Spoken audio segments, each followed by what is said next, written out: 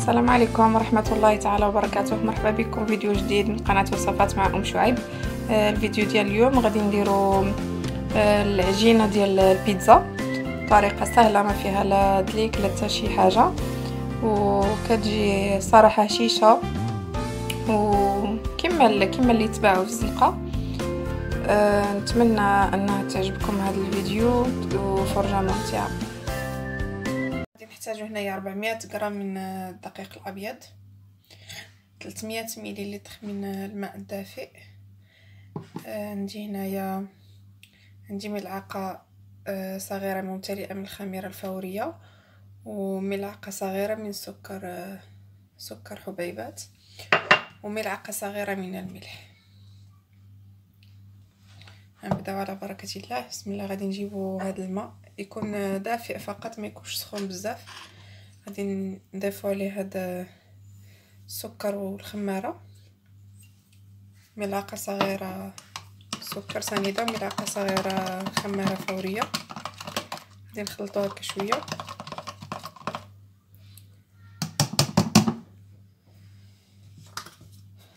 نضيفو الملح للدقيق.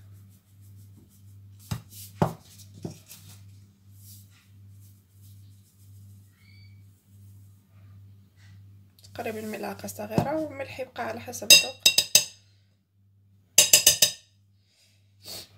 بسم الله.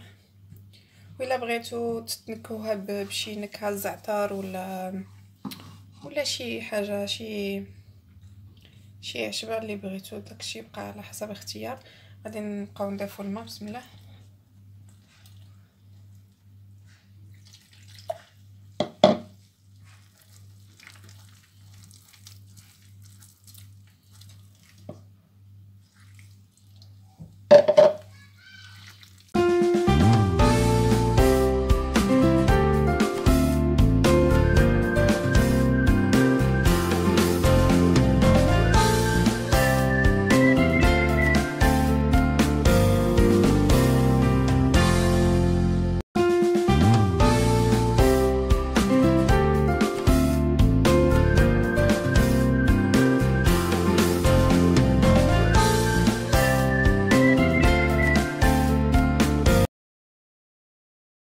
هذا هو القوام ديالها تكون تلصق شوية باليدين. غادي ندير لها بابي اليمونتير بلاستيك غذائي. وغادي ندخلها للثلاجة. آه نخليها على الأقل ربعة سوايع إلا كنتو غديروا بيتزا الغدا. من الأحسن الصباح الصباح بكري تعجنوا العجينة. وخليوها ترتاح على خاطرها. ولا خليناها ليلة كاملة كان إلا قدينا نخلوها ليلة كاملة أحسن. شحال ما جلست ترتاح على خضرها في الثلاجة تجي تجي أحسن تجي هشيشة أكثر وصافي هذا هو كما قلت لكم دخلوها للثلاجة. آه اربعه سوايع ولا ولا أكثر وعاد نخدموا بها نوريكم إن شاء الله. كما كتشوفوا هي خليتها خليتها ربع سوايع تقريبا.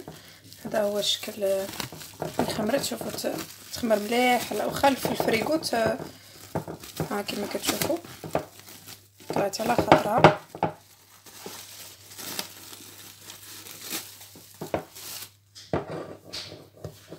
الاستعانه ديال شوية ديال الدقيق آه نشكلوها الخبيزات اللي بغينا وصدقوني كتجي صراحة آه رائعه الا جربتوها الطريقة ما غاديش تندموا ان شاء الله وغادي تبقى عندكم هي المعتمده وفيديو الجاي إن شاء الله غادي نوريكم آه، العمارة ديال البيتزا. كنديرها صحية فيها بزاف الخضر وكتعجب كتعجب الأطفال الصغار.